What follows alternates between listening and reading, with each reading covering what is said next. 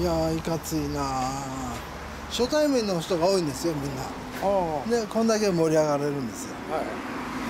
これどこのマフラこれですね、あのさいあのー液パイは月木なんですよ。ーあ月木さんとか。はい。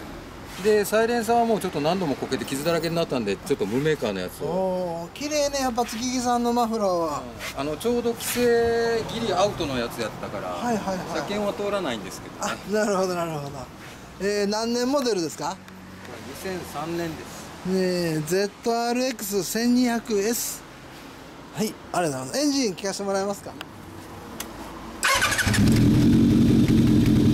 あよくなってる。気をつけて帰ってくださいよ、またお会いしましょう。です。